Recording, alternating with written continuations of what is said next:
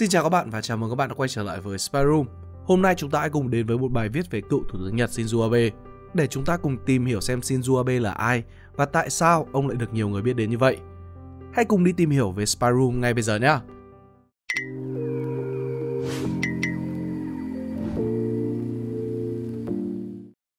Cựu Thủ tướng Shinzo Abe là nhân vật có tầm ảnh hưởng lớn không chỉ với Nhật Bản mà là còn với nhiều quốc gia khác, trong đó có cả Việt Nam. Ông Nicholas Chapman, chuyên gia nghiên cứu an ninh quốc tế và chính trị các nước châu Á đã từng phát biểu Shinzo Abe thực sự là một vị chính trị gia chỉ có một trên đời. Sự ra đi bất ngờ của ông để lại tiếc nuối lớn cho cả thế giới. Hãy cùng dành chút thời gian nhìn lại cuộc đời của vị chính trị gia xuất chúng này và ảnh hưởng của ông tới tình hình của Nhật Bản và mối quan hệ ngoại giao giữa Việt Nam với xứ sở Anh Đào. Ông Shinzo Abe sinh ngày 21 tháng 9 năm 1945 tại Tokyo, là nhà lãnh đạo đầu tiên của Nhật Bản ra đời sau Thế chiến thứ hai. Xuất thân trong một gia đình có truyền thống tham gia vào chính trường. Ông ngoại của Shinzo Abe, ông Kishi Nobusuke, là thủ tướng Nhật Bản trong giai đoạn từ năm 1957 đến năm 1960. Ông nội Kanabe là thành viên của Hạ viện từ năm 1937 đến năm 1946. Cha của ông, Abe Shintaro, cũng đã từng làm việc ở vị trí ngoại trưởng Ông cũng có mối quan hệ đặc biệt gần gũi với thủ tướng giai đoạn từ năm 1964 đến năm 1972, Sato Eisaku, cũng chính là chú của Shinzo Abe. Hổ phụ sinh hổ tử, Shinzo Abe nhanh chóng bộc lộ tài năng và niềm yêu thích của bản thân đối với lĩnh vực chính trị.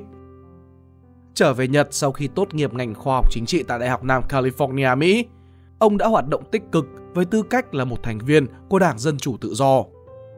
Từ năm 1982, ông là thư ký cho ngài ngoại trưởng Shintaro, trở thành cánh tay phải đắc lực của cha mình. Cũng trong thời gian này, ông kết hôn với bà Abe Aki, vốn là một nghệ sĩ radio DJ thời ấy. Hai người có mối quan hệ đầm ấm, yên bình cho tới ngày nay, là hình mẫu lý tưởng đối với bất cứ ai, trong đó có tôi, cho dù họ không thể có con. Những khoảng thời gian làm phụ tá, bên cạnh ngài Shintaro đã cho Shinzo Abe những kinh nghiệm vô cùng quý giá trên chính trường trong tương lai – Đến năm 1993, ông chính thức tự mình đứng ra tranh cử tổng thống trong cuộc bầu cử Hạ viện tháng 7 và cũng chính trong cuộc bầu cử này, ông đã lần đầu trở thành nghị sĩ. Sau đó, ông nắm nhiều vị trí quan trọng trong chính phủ và Đảng Dân Chủ Tự do LDP, như là Phó Tránh Văn phòng Nội các, Tổng Thư ký Đảng LDP hay Tránh Văn phòng Nội các. Cho tới tháng 9 năm 2006, Shinzo Abe chính thức được bầu làm chủ tịch Đảng LDP và trở thành Thủ tướng thứ 90 của Nhật Bản. Khi đó, ông 52 tuổi, khiến ông trở thành vị thủ tướng trẻ tuổi nhất kể từ sau khi chiến tranh kết thúc.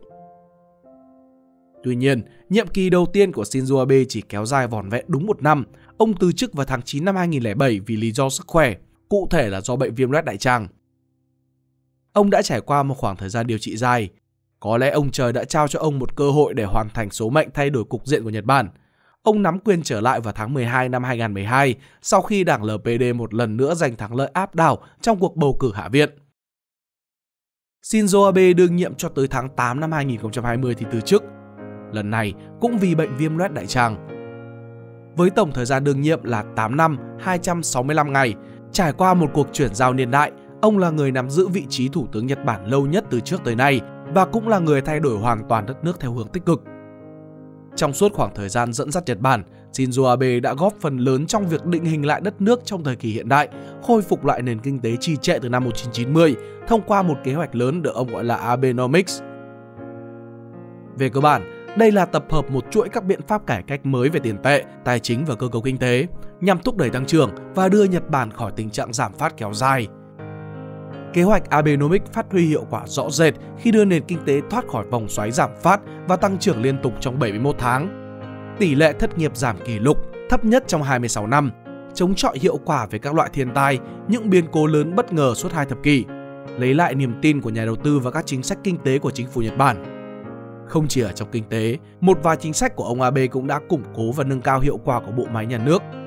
Về an ninh, ông góp phần rất lớn vào việc thay đổi cách diễn giải hiến pháp, cho phép lực lượng phòng vệ Nhật Bản tham gia hoạt động phòng thủ tập thể để bảo vệ các đồng minh trong những cuộc tấn công vũ trang. Ở phương diện đối ngoại, Thủ tướng Abe cũng không ngừng nâng cao vị thế và xây dựng các mối quan hệ gắn bó với các nhà lãnh đạo lớn trên toàn thế giới. Hàn gắn thúc đẩy hợp tác chặt chẽ với Hoa Kỳ, thiết lập lại mối quan hệ vốn đã bị dạn nứt từ thời Đảng Dân Chủ Nhật Bản. Cựu Tổng thống Hoa Kỳ, ông Donald Trump luôn coi Shinzo Abe là một người bạn của mình và luôn dành cho ông sự ngưỡng mộ cao nhất. Các mối quan hệ của Nhật và các quốc gia như là Trung Quốc, Anh, Đức, Hàn và Bắc Triều Tiên cũng đã được thật chặt. Cũng trong thời kỳ của Thủ tướng Shinzo Abe, mâu thuẫn của Nhật Bản và Ấn Độ cũng đã được hòa giải. Ông trở thành Thủ tướng Nhật Bản đầu tiên là khách mời danh dự của lễ kỷ niệm Ngày Quốc khánh của Ấn Độ vào năm 2014. Ông còn được vinh dự nhận được giải thưởng Padma Vibhushan, giải thưởng công dân danh dự cho những đóng góp của ông đối với sự phát triển của Ấn Độ. Bên cạnh đó, ông Shinzo Abe cũng có một sự quan tâm đặc biệt với mối quan hệ ngoại giao giữa Nhật Bản và Việt Nam. Trong khoảng thời gian hoạt động chính trị, ông Shinzo Abe đã có rất nhiều lần tới thăm Việt Nam. Riêng trên cương vị là Thủ tướng Nhật Bản thì ông đã tới thăm Việt Nam tổng cộng 4 lần. Lần lượt vào năm 1993, 2006, 2013 và 2017. Ông từng chia sẻ rằng trong ấn tượng của người Nhật, dân tộc Việt Nam là dân tộc cần cù, thông minh, tính kiên nhẫn cao và đặc biệt là trọng tình nghĩa. Trong một cuộc phỏng vấn với Thông tấn xã Việt Nam vào tháng 2 năm 2019, ông Abe bày tỏ thái độ cảm kích trước sự tiếp đón nồng hậu của chính phủ Việt Nam và người dân Việt Nam. Chính ông đã thừa nhận tầm quan trọng chiến lược của Việt Nam ngay trong nhiệm kỳ đầu tiên làm thủ tướng vào năm 2006, thể hiện qua việc nhất trí đưa ra tuyên bố chung hướng tới xây dựng mối quan hệ đối tác chiến lược trong những chuyến thăm của Thủ tướng Nguyễn Tấn Dũng. Sau khi quay lại nhậm chức năm 2012, ông Abe cũng chọn Việt Nam là quốc gia đầu tiên để thực hiện chuyến thăm ngoại giao. Năm 2014, hai nước nâng tầm quan hệ ngoại giao song phương với chủ trương làm đối tác chiến lược sâu rộng về hòa bình và thịnh vượng ở châu Á, nhân chuyến thăm của Chủ tịch nước Trương Tấn Sang tới Tokyo. Không hề chỉ nằm trên giấy tờ, tới năm 2017, Nhật chính là nước tài trợ ODA lớn nhất, cũng như là nhà đầu tư trực tiếp nước ngoài lớn thứ hai và đối tác thương mại lớn thứ tư của Việt Nam. Đặc biệt, đích thân Thủ tướng Abe đã mời lãnh đạo Việt Nam tham gia hội nghị thượng đỉnh G7 mở rộng phát triển năm 2016 và hội nghị thượng đỉnh nhóm 20 nền kinh tế phát triển hàng đầu thế giới G20 với tư cách là khách mời đặc biệt của nước chủ nhà. Đây cũng chính là lần đầu tiên Việt Nam được tham gia vào các diễn đàn có tầm ảnh hưởng đến quốc tế. Cùng với những sự phát triển trong ngoại giao giữa hai nước, dưới thời chính quyền của Thủ tướng Shinzo Abe, Việt Nam mới phần nào được tạo điều kiện lớn để phát triển về nhiều yếu tố kinh tế và xã hội. Bên cạnh đó, cộng đồng người Việt làm việc và học tập tại Nhật Bản cũng được mở rộng, trở thành cộng đồng nước ngoài lớn thứ ba xứ sở anh đào. Nhật Bản cũng có rất nhiều chính sách hỗ trợ thiết thực dành cho cộng đồng Việt Nam.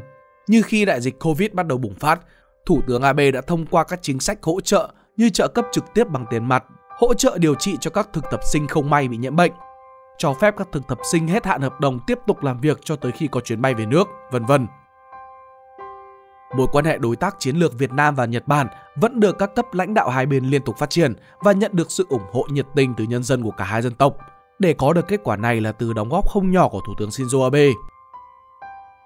Tháng 8 năm 2020, Thủ tướng Nhật Shinzo Abe xuất hiện trước toàn bộ công chúng trong buổi họp báo cho người dân về sự lo ngại trong tình hình sức khỏe của mình. Ông cúi đầu và tuyên bố từ chức Thủ tướng Nhật Bản để bản thân không làm ảnh hưởng tới sự phát triển đầy tiềm năng của Nhật Bản trong tương lai. Mặc dù những người kế nhiệm ông bao gồm cựu Thủ tướng Yoshihide Soga và Thủ tướng đương nhiệm Fumio Kishida Ảnh hưởng của ông Shinzo Abe là quá lớn để đưa Nhật Bản lấy lại thăng bằng sau một khoảng thời gian dài chống lại đại dịch và các thiên tai liên tục xảy đến. Tháng 7 năm 2022, khoảng thời gian bầu cử cho Thượng viện đang trong hồi gai cấn nhất, Shinzo Abe xuất hiện trước gà Kintetsu Yamato Shidaji thuộc tỉnh Nara để vận động bầu cử cho một thành viên trong đảng của ông. Cựu thủ tướng đã bị trúng hai viên đạn có chủ ý và rơi vào tình trạng nguy kịch. Ông đã được đưa đi cấp cứu bằng trực thăng. Đến 17 giờ 3 phút ngày 8 tháng 7, Shinzo Abe đã được xác nhận là không qua khỏi. Thi thể của ông đã được đưa về Tokyo ngày sau đó và tang lễ sẽ được tổ chức tại Yoyoji vào ngày 12 tháng 7 năm 2022 trong sự thương tiếc của gia đình và người thân. Động cơ của thủ phạm vẫn chưa được xác nhận, nhưng điều chắc chắn là nước Nhật sẽ rất nhớ cựu thủ tướng Shinzo Abe, một vị thủ tướng tài giỏi và dễ mến. Sự ra đi của ông là mất mát quá lớn, không chỉ với người dân Nhật Bản mà là còn đối với nhân dân Việt Nam cũng như là toàn thế giới.